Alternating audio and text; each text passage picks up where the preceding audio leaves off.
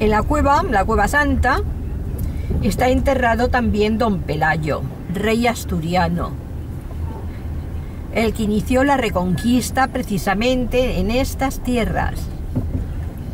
Y ahí tenemos la basílica, basílica de la Virgen de Covadonga. Y este culo que llevo delante, madre mía.